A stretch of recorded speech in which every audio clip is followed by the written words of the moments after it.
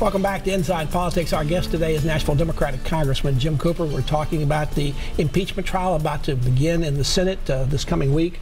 Uh, Congressman, uh, there was a report from the uh, Government Accountability Office, which is a nonpartisan watchdog group, that basically said the, the Trump administration uh, violated the law in not allowing the aid to go forward. But that in and of itself, that's not a reason for, that's not a high crime and misdemeanor. That's not enough for this, the Senate to remove him from office. So what Well, role will that play? Uh, everybody in Congress swears an oath to uphold the Constitution, and the Constitution says that Congress appropriates money, and when we do that, because we're the closest to the people, that the president should follow that rule. Now, in a national emergency, he doesn't have to, but you certainly can't withhold aid just for a petty political reason. And remember, this isn't the only time that the president's done it. He withheld $18 billion to Puerto Rico, which is a territory of the United States of America.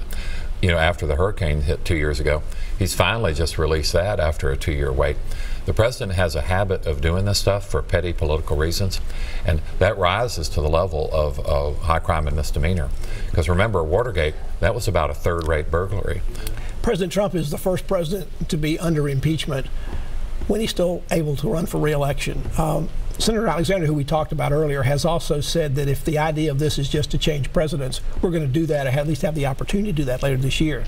Isn't that the ultimate reason perhaps the Republicans will say, well, if you don't like Donald Trump, beat us in November? Well, and that's a very good political argument, but remember, everybody in Congress swears an oath oath to uphold the Constitution. We are a country of laws, not of men. And if people intentionally and systematically break the law, they should be held accountable. And the evidence here is overwhelming. The Republicans really haven't even disputed seriously that the president did this stuff. They've mainly made arguments about process and other things, trying to distract us from the real issue. If the um, testimony comes in from Lev Parnas, he also seems to be widening out this to also pot- potentially implicate uh, the vice president, secretary of state, the attorney general. I mean, that is getting to be such a broad situation that is that a, a Pandora's box that anybody on either side really wants to open up?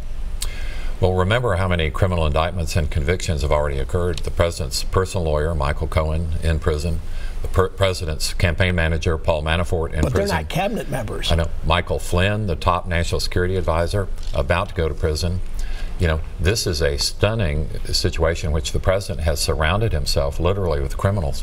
And Lev Parnas and Igor Fruman were arrested and handcuffed at Dulles Airport trying to flee the country with one-way tickets. This is not a good situation. The president should associate with higher class people. But Lev Parnas is under indictment. Why would why is he credible? He's already had character Well- witnesses, uh, character problems before. if his testimony disagreed with what our civil servants were saying, but they are unanimous in saying the president, including um, Ambassador Sondland, who was the president's own personal pick, saying the president knew all about this, and all the top folks in government knew about this.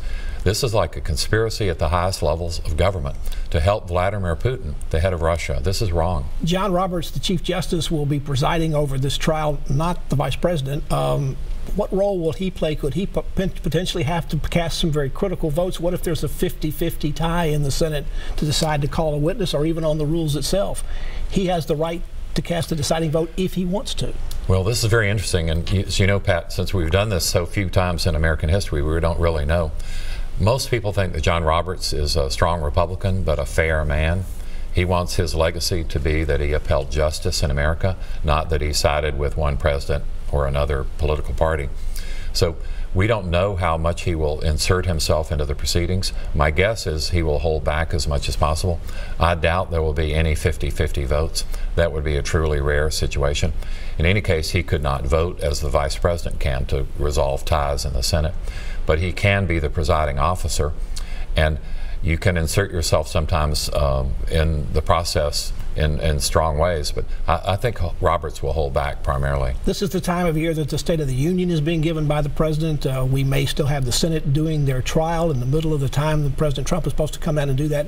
When this happened 20 years ago with President Clinton, he went, again, went ahead and gave the speech. Do you expect that's what President Trump will do? And do you also expect the President to give a running dialogue about the trial on his Twitter feed? Well, no president has embraced the media the way Donald Trump has, whether it's At video not, at least not social media. or, or tweets. Every Republican I know wishes he wouldn't do that so much. They wish he wouldn't hold these political rallies all the time and then uh, misspeak so many times. But so I don't think the president's going to shy away from the State of the Union at all. I think he will embrace it. He will use it as an opportunity to champion his own case. He's very good at making his own case.